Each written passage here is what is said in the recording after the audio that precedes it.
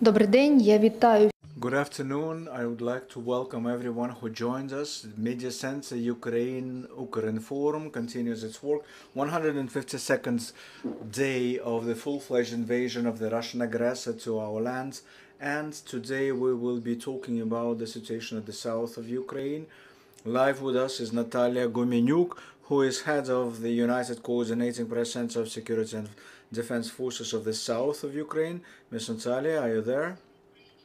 Glory to Ukraine. Glory to the heroes. So, how was the previous day in the south? Quite a productive day indeed. Even though quite aggressive from our enemy. Productive because we had five airstrikes destroying five defense points of the enemy destroying command and reconnaissance points of the Russian National Guard, Guards, Rosgvardia. Also,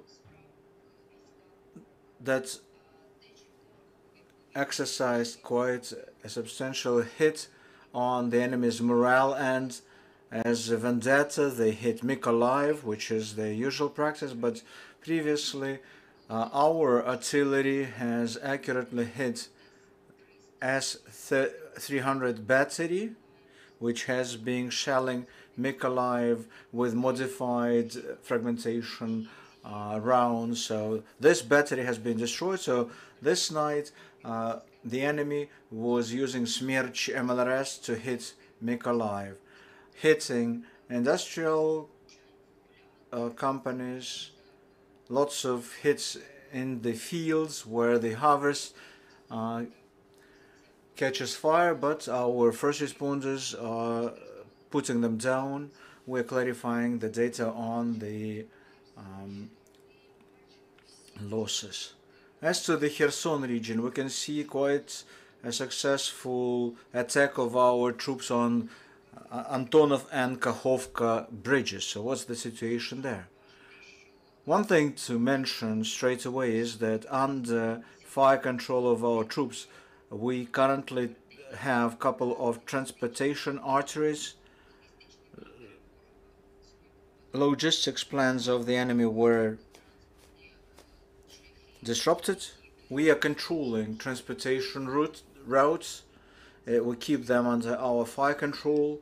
Thus, they are not able to freely maneuver or create new assault groupings, which demoralizes the enemy's troops.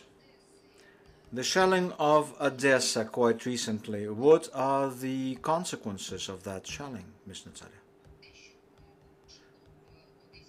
Uh, when they hit uh, Odessa seaport, well, that's quite uh, a vivid illustration of the values and guarantees that we should expect from the terrorist state. Speaking about the situation in the Black Sea, what do we observe there right now?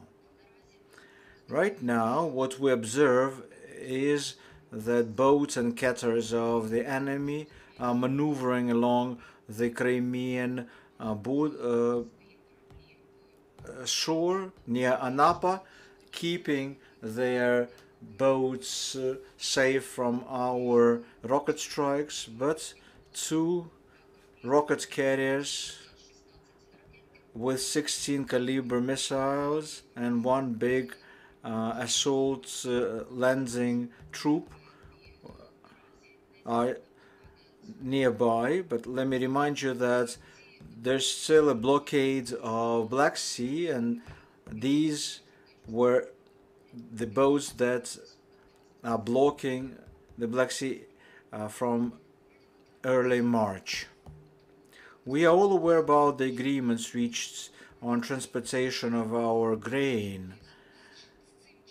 So, will the uh, Black Sea be demined? Well, the, uh, clarifying the technical parameters of this task uh, to meet the previous agreements as soon as the military receive relevant uh, orders, they will be ready to perform on them. Colleagues, your questions, please use the mics.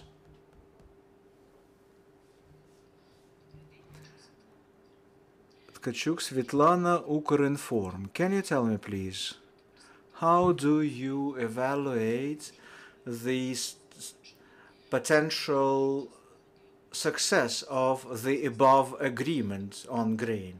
And what would Ukrainians do to keep their boats, ships safe? In order to keep our ships safe, we need powerful uh, and air defense system. Why? Because our skies are still uh,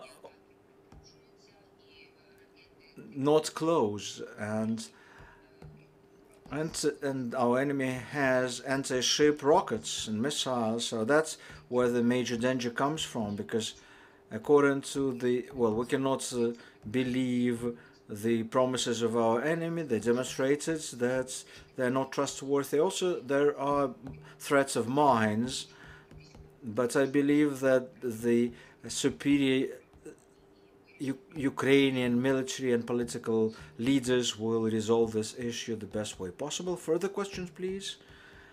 If no, then Ms. Natalia would like to thank you for finding time and joining us live. That was Natalia Gumenyuk, the head of the United Press uh, Center of the South Armed Forces Group. Colleagues, at 2 p.m. Here in the studio, we'll have Alexander Kubrakov, the Minister of Infrastructure, and Mykola Solsky, Minister of Agrarian Policy and Foodstuff of Ukraine. So stay with us.